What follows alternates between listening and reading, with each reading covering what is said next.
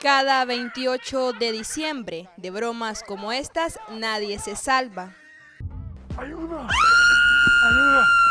Es el Día de los Santos Inocentes y aunque muchos aprovechan la fecha para hacer burlas, su verdadero origen es otro. Dicen que hubieron tres sabios que venían del oriente, conocidos como los Reyes Magos o los tres Reyes Magos, que la iglesia tradicional eh, se le conoce como Melchor, Gaspar y Baltasar. Ellos estudiaban, eran estudiantes del Antiguo Testamento y ellos eh, estaban esperando al Mesías. En ese momento ellos miraron una gran estrella bien luminosa y por intuición divina ellos dijeron, esa es la estrella que tanto en la antigüedad se estaba hablando, donde iba a ser el Mesías, y como ellos estaban al lado de Belén, entonces ellos fueron, bajaron de donde ellos venían, bajaron, pero antes de llegar a la estrella pasaron por el palacio de Herodes. Y le dice a los, Herodes le dice a los sabios esto, es cierto, vayan entonces, les autoriza, vayan a adorarlo y cuando lo hagan me avisan para yo también ir a adorarlo. Ellos fueron, encontraron el lugar, encontraron al niño con su madre, con su padre, lo adoraron y le ofrecieron al mismo tiempo sus presentes, sus regalos, regalos propios de su cultura, de sus productos naturales, de sus, como eran el oro, incienso y mirra. Y, y ya cuando concluyeron su visita, descubren todo esto, reciben anuncio de parte de un ángel de Dios que regresen a su patria, a sus países de origen, por otros caminos. Y ellos pues regresan. Pero Herodes quedó esperando. Al verse burlado que no regresaron, entonces ordena, se enfureció y ordena un decreto de ley de asesinar a todos los niños de 0 a 12 años.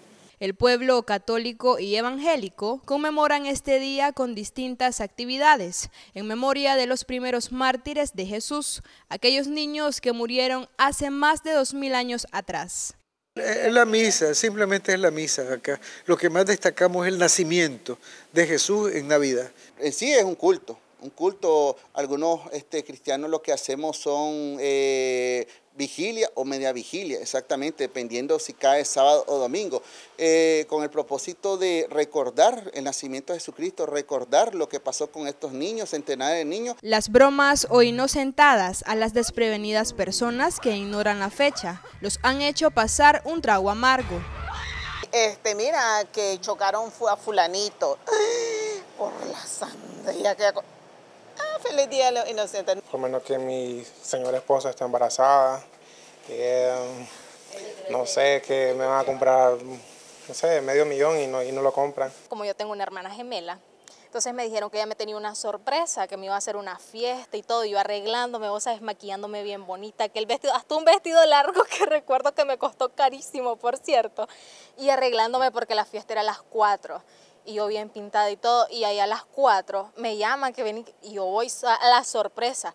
Y cuando llego no había nadie. En el siglo XXI, la tradición del Día de los Inocentes también se ve en las distintas plataformas digitales. Fíjate que el año pasado, de hecho, miré un estado de una amiga que estaba embarazada y yo la llamé emocionadísima, hasta regalos le compré y después me dijo que era mentira. Y yo como que no.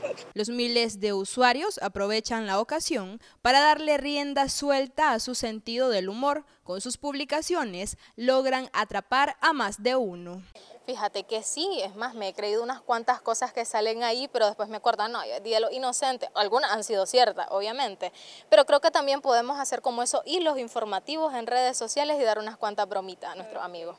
Hay quienes no comparten la idea de hacer mofa aquel evento bíblico. Pienso que no deben de hacerse broma con respecto al Día de los Inocentes porque es una tragedia prácticamente y me molesta mucho cuando a mí alguien me hace esa broma porque definitivamente es repugnante, ¿me entiendes?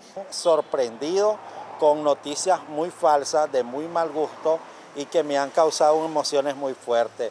Por ejemplo, pérdida de un familiar cercano, eh, incluso una llamada telefónica de que me gané la lotería y digo, pero si ni juego a la lotería. Ojo al Cristo con este día. No seas una inocente palomita que te dejaste engañar. Génesis Flores, lo que se vive.